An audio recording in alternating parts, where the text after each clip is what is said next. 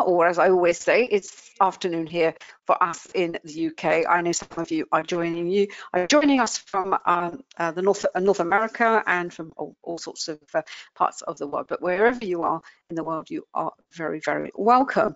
As always, before we start, may I just draw your attention to the disclaimer that I know you can see on the screen. As you know, trading can be a very risky business, so please, please don't ever think of using money that you cannot afford to lose. Right, as we've lost a few minutes, I'll just uh, rattle through the next literally two more slides. As you, those of you who come along regularly will know, we'll be looking at the charts through the prism of volume price analysis. What is volume price analysis? Well, all the details you can find on the books that are up on Amazon, and it is essentially looking at the chart through the prism of uh, price action and volume to try and determine whether what you're seeing on the chart is actually a valid move or not. Because as you know, this is a very, very, um, as, as I think I say in Australia, a very shonky business.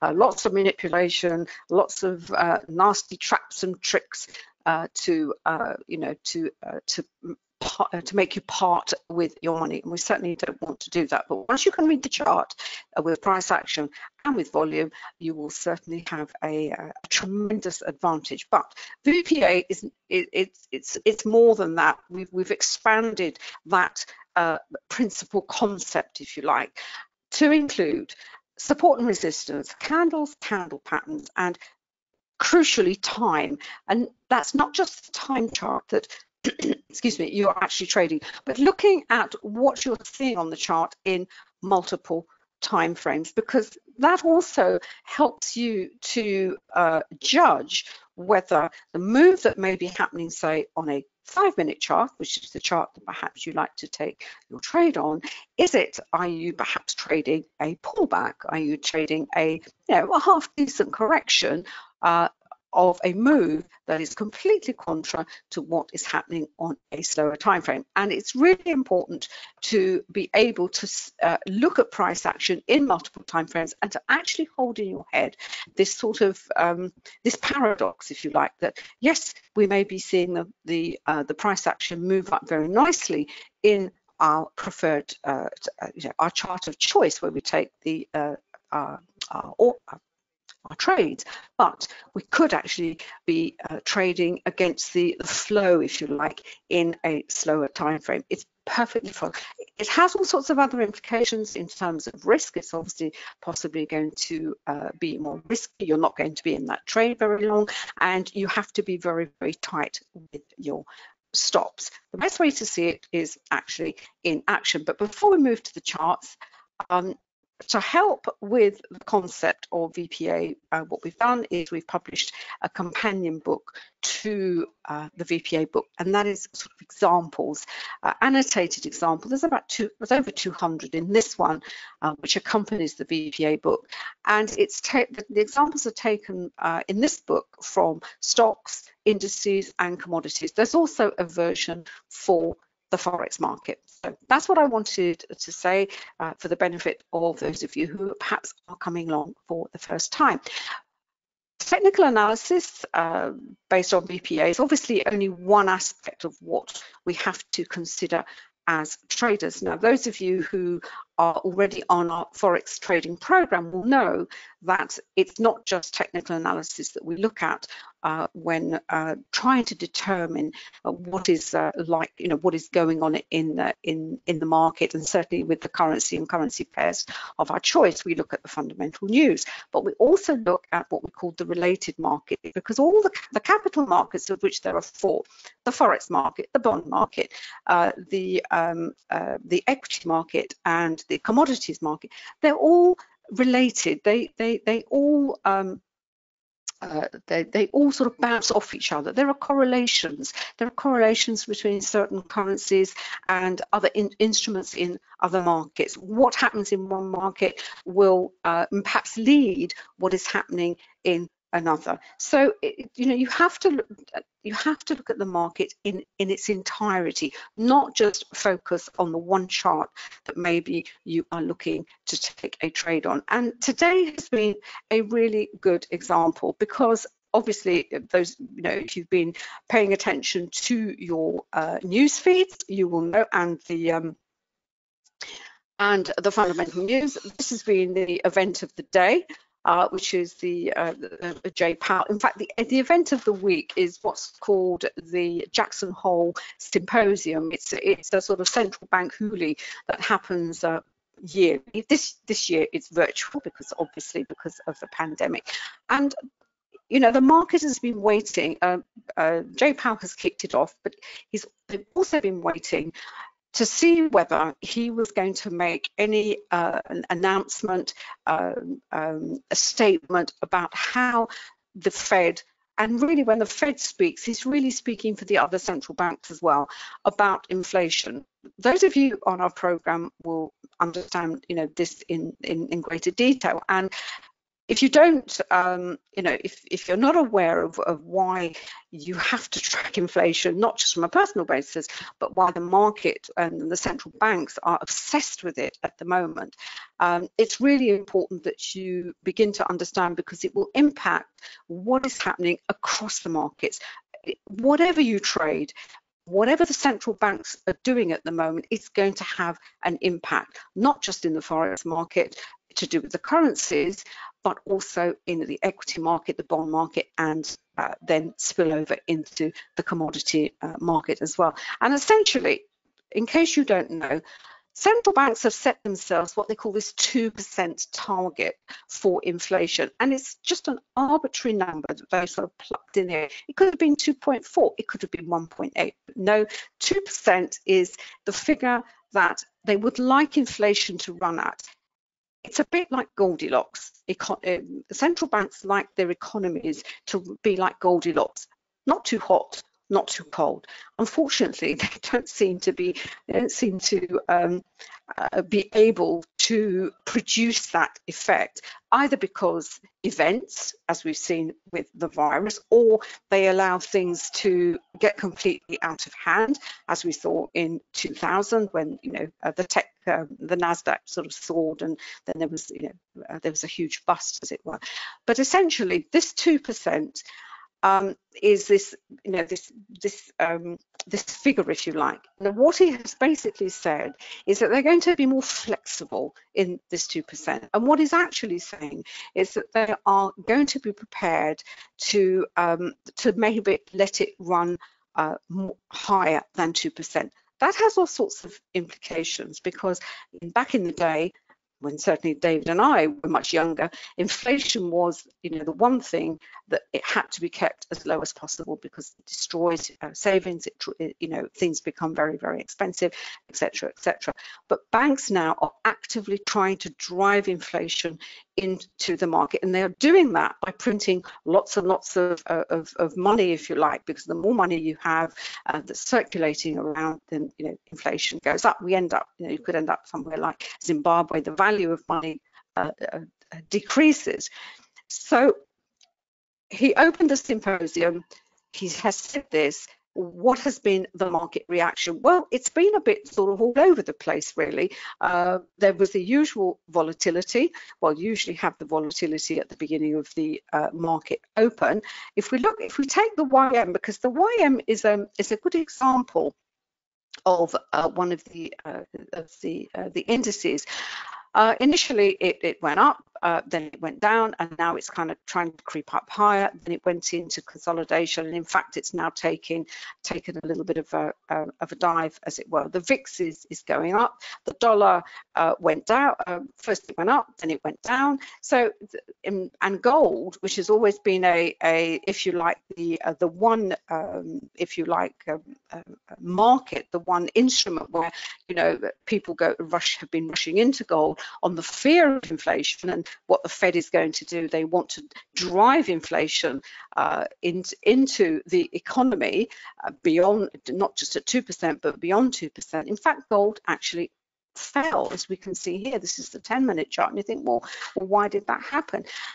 The Fed, you have to kind of think of it in a slightly counterintuitive way. In a way, the Fed having said that they are you know they are you know they have, they're becoming more flexible on this 2% target that is just now an average it kind of tells people well maybe they're not going to succeed you know inflation is is driving inflation higher is actually going to be a problem. It's certainly been a problem in Japan uh, for the last 20 years or so. They, they've had a, they no matter how much QE they seem to uh, indulge in, uh, the, um, the uh, you know, inflation is still very, very low. So that could be the reaction from the um, from the gold market. Now, there is also another instrument for those of you who um, who want to know a little bit about this, and this is called the TIP. The TIPS. TIPS are uh, Treasury inflation protection securities. They're like a, a form of bond, and uh, people buy them. They, people buy them when they think inflation is going to be out of control because it protects you against the effects of inflation. And this is an ETF, and ETFs are a great way to try and um, get a feel for what market sentiment, sentiment is, you know, what different parts that, you know, you don't, you don't have to invest in them unless you particularly want to, but it gives you uh, an an insight into what the market is thinking. And the tips, certain, the tip certainly um, is is an ETF which is and if you are trading gold, I would probably suggest you keep an eye on this as well because they kind of uh, uh, correlate with one another. So if the um, if you know if the tip is rising, um, they think inflation is going to be rising. Gold will tend to be rising, but this is on the on the daily chart. It's been a little bit. It's gone into um, sideways, as, as it were, pretty much reflecting what gold has been doing. It went up as with gold, it's had a bit of a pullback and now it's moving sideways. So it's kind of reflecting this um, this uncertainty that the market has. That no one's really sure uh, what what the central banks are, you know, whether what the central banks are doing are is going to succeed or not. And obviously, if that if that falls, then the uh, the assumption is that inflation there isn't going to be any inflation. Now, gold might may still rise because gold also rises, not just because of inflation, because the whole financial system has been completely, I would say, destroyed. But it's, uh, you know, there's no value left in money because that's what we're talking in paper, if you like, whether that's money or or uh, bonds, if you like. So it's it's you know the, you could argue it uh, both ways, as it were. So that's where we are at the moment, with in reaction to what has been going on um, with the uh, with the beginning of, uh, of, Jackson Hole. I think the Canadian uh, uh um, governor has just been speaking. It's his Macklem. He's a new guy, so you have to sort of keep you know, wherever you are in the world, if you're in Canada and you're a trader and you're an investor, you really need to know who your central bank is and you know, get to know the personalities. It's one of the things we say on our program that our traders must do. So, and particularly if you're going to trade a currency, um, a Canadian dollar is your one of your preferred, or here in the UK we have obviously the British pound. It's really important that you get to know who your central bank is, who are the members of the central bank, who carry weight on uh, in um, on the committees because certainly with the Fed, obviously the chair does and and uh, uh, and the the vice chair, but within on the Fed uh, committee, some members don't carry uh, don't vote. They don't have the uh, voting rights. They kind of rotate them. So when one of the Fed's people come up, you know, pop up in the media, um, if they are a voting member, then their words are going to carry more weight, if you like, in the market. But if they're a non-voting member, yeah, people say, well, that's awfully interesting, but he or she's not going to have much of an, an impact at the next meeting because they don't have a vote. So it's really, really important that you uh, understand what the central bank is up to, what is the monetary policy of the central bank, no matter what you trade, whether it's equities, commodities, and certainly with the uh, a currency market, then you really, really must know.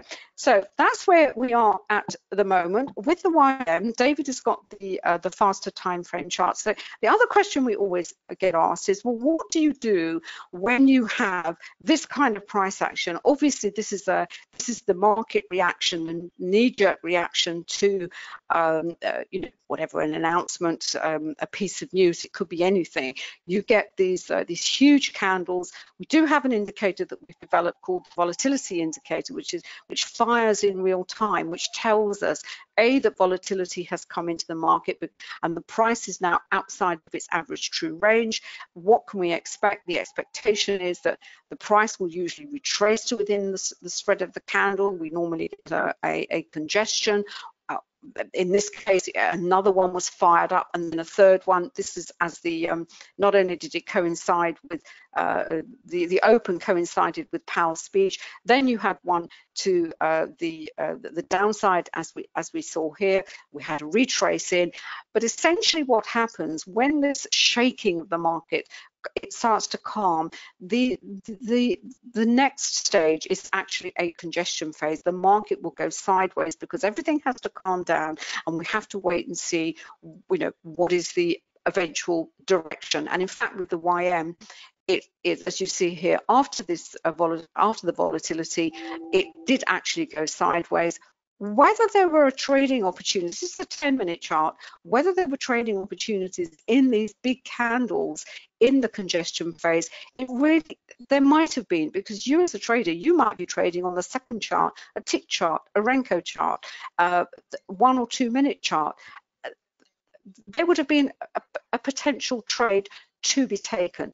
If you're on the slightly slower time frames, as I am here on the, on, on the 10 minute, then you would certainly want to wait for a very firm pull away from this uh, volume point of control. It's the area on the chart, it's the fulcrum of the chart. There's no real direction in this particular time frame. And there was a really nice example of this with a cable. Um, and as I said, but it could it could have been anything.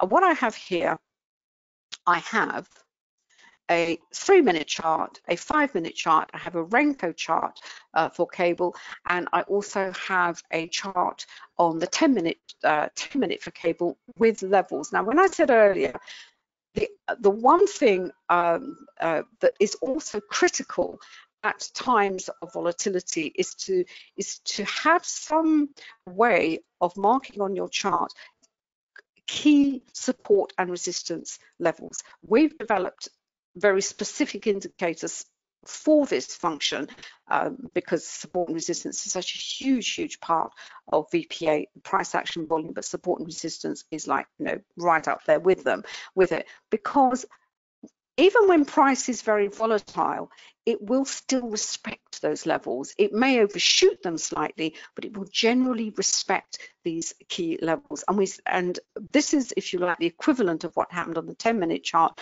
with a cable reflecting what was going on with the US dollar. As I said, it went down, then it went uh, then it went back uh, went back up. Very very dramatic. You can see the huge wicks to these candles. But look, it, it kind of hit what this is the R4 um, this is the based on on Camarilla, but you know you might use a moving average, you might use a, a Fibonacci level. It really doesn't matter. But somewhere on one of your charts, you have to have a, a, um, some kind of um, some kind of indicator which tells you this is an important level uh, for the market. And in fact, after this, uh, uh the volatility this too went into a congestion between, as we can see here, the S1 and it actually just fell. It never made the S4 at the bottom of the chart. It sort of it it, it sort of hung around the uh, the R3.